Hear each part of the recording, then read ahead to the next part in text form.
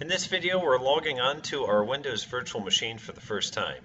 Uh, a important note here is the password hint is PA dollar sign dollar sign W0RD. So let's try that. PA dollar sign dollar sign W0RD and log in.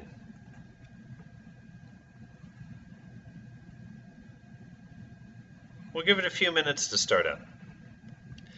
Now this is a basic Windows 7 machine 64-bit, we're going to need to download several things. Eclipse are a development environment. Uh, for Java EE, make sure you get the Java EE version. The latest one is fine. Mars is, is the time at the time of this recording. We're also going to need a software development kit, SDK or JDK for Java, and also the WAMP stack. That's Windows, Apache, MySQL, and PHP. These will take a while to download, so I am going to pause between downloads. Uh, let's start with Eclipse 64-bit. Uh, and by the way, I've already, on my machine, I've already downloaded Chrome. Uh, it comes with IE by default, but uh, if you prefer Chrome or any other browser, feel free to download that as well. I'm going to click on the Eclipse 64-bit. Um, yep, looks good to me. And download, and we'll let it go.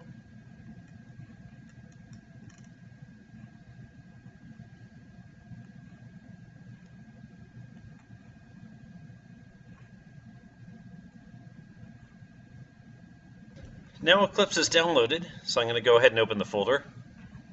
And you see it is uh, it has a folder called Eclipse. I'm going to go ahead and copy that.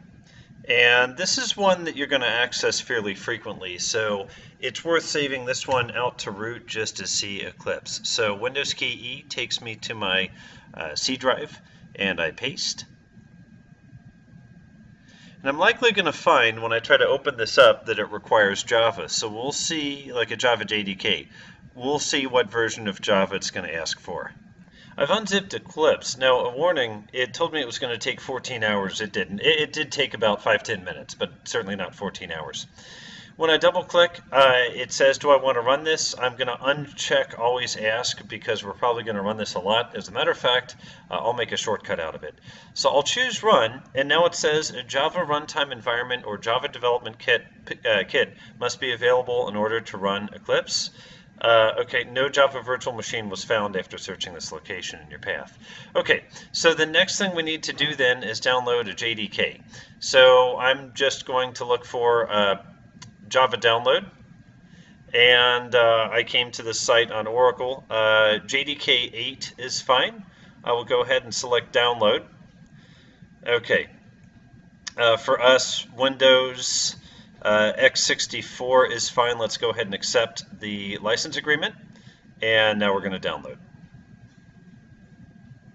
And of course, we'll give this a few moments, and then we will uh, uh, choose to run this as soon as it downloads. I'll pause while we wait. It is downloaded, so now I'm going to choose open. And yes. And we'll go ahead and walk through the steps as we normally would. Uh, choose next.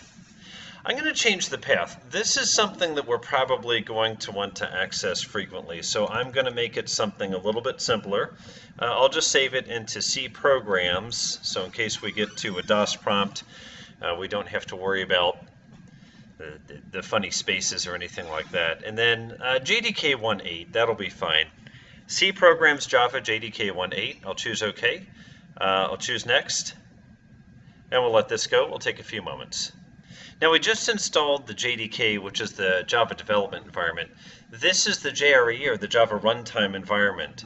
This is what you need to run Java programs, where the thing we just installed is what you need to write and compile Java programs. In other words, what we're installing now is what's on your mom and dad's computer. What we just finished installing is what's on your computer. You do need both of these for our class. Uh, again, this is a path we're probably going to use a lot. I don't like having spaces in paths that I have to use on the command prompt. So I'm going to modify this just slightly. We'll make it C programs Java and then JRE 186. So C programs Java and then we'll just make new folder and we will say JRE JRE rather, sorry 1.8.6 or 1.8.0 rather and then I'm going to choose OK. Let's make sure that's reflected here. Uh, almost. Okay, once again, C and programs and JRE180 and okay there we go and next and we'll let this install. Now it has been successfully installed so I'm going to choose close and let's try to start Eclipse one more time.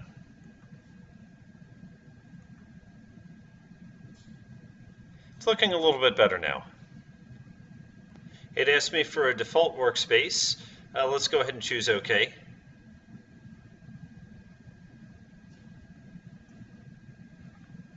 It's going to take a moment to start. To make our lives easier, let's go ahead and right click on the Eclipse icon, choose Create Shortcut, and then drag that to the desktop. We can remove the word shortcut from here. And that way we don't have to navigate to this folder from now on. Just drag up and onto the desktop. Okay,